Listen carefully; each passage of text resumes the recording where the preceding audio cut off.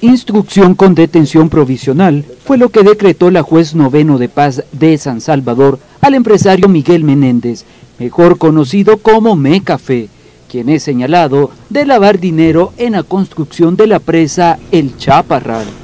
Para la juez del caso hay muchas evidencias que implican a Menéndez.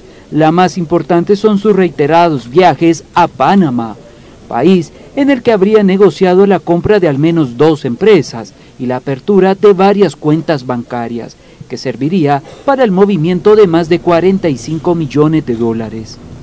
Dinero que sería distribuido entre los miembros de la red que según la Fiscalía era liderada por el expresidente de la República Mauricio Funes, su esposa Ada Michelle Guzmán y el expresidente de CEL Leopoldo Zamur y otros implicados más, un caso que durante la gestión del ex fiscal Luis Martínez estuvo engavetada.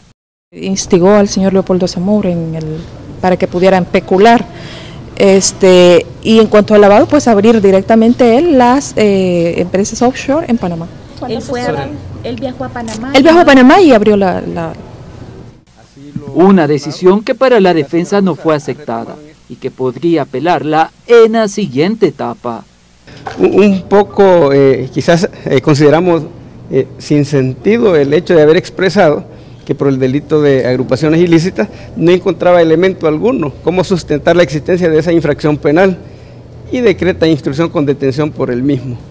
Realmente como defensa vamos a tener cinco días posteriores a que nos notifiquen el auto ya por escrito de esta resolución para poder analizar y valorar Sí, eh, ponemos, interponemos recurso de apelación sobre esta decisión. De ser declarado culpable, Miguel Menéndez podría ser condenado a 27 años de prisión, sin contar también que está siendo procesado por el caso denominado saqueo público. Con imágenes de Gonzalo Tejada, este es un informe para Noticiero Hechos de Ernesto Cornejo.